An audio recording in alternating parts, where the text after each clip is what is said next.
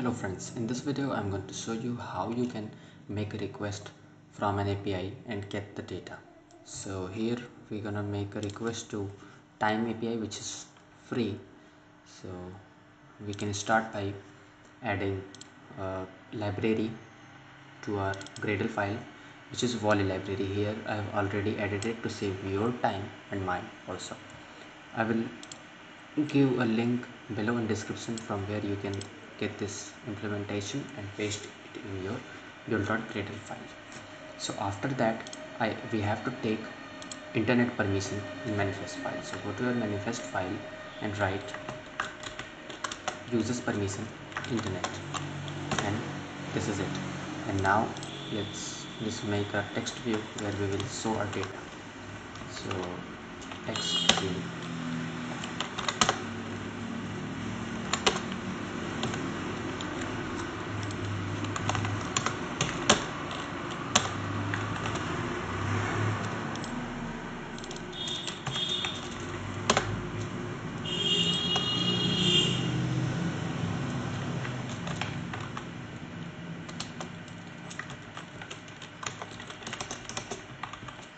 have a uh, simple design quite simple design.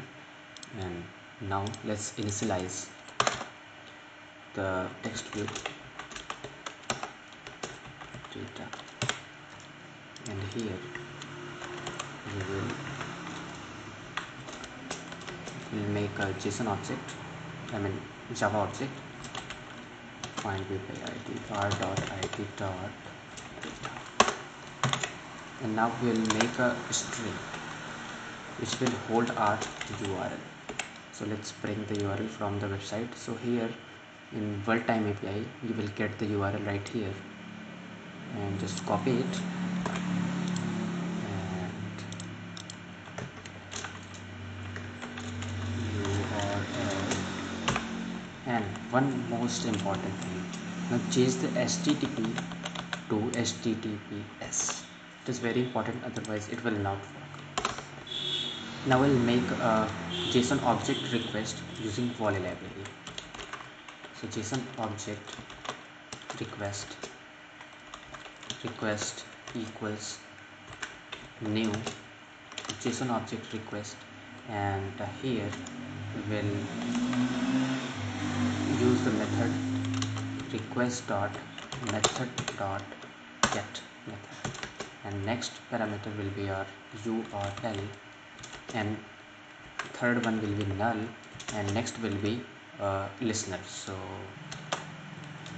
new response listener. And we will go here and make separate it using a comma. And we will make another error list. And now let's add the semicolon and here we will get our data. So from here I want to get the date time.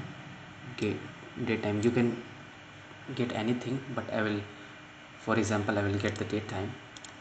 So as you can see get time is in string. So we'll uh, make a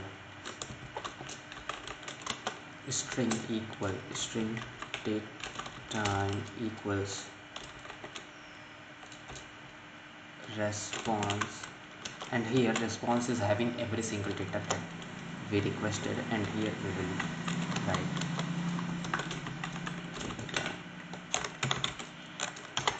And here I will just add it.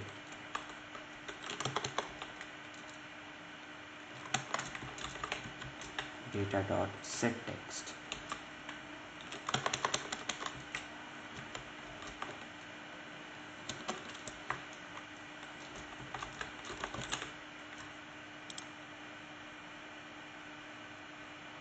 and it needed to be surrounded in try catch because it can throw an error. So what we will do is we will make a try catch block paste it inside here and catch. Exception and nothing. And here paste it. This is it. And if I run this was we need to add request dot new request context dot add and request. And now this time it will work. And as you can see guys here we go. We got the date time. Okay let's see. Yeah exactly we got it and now what I'm gonna do is I will just get the date. I mean only the date. So how we can get it? It's very easy. So like we'll make another string. Name date equals and we will simply split the date time. Date time dot split. And as you can see from time from this key t we can separate them both. So we'll use t and we'll get the first part right? And this is it. And now date time we will change it to be date. And if I'll run it again you will find out that it will only display the date. Let's see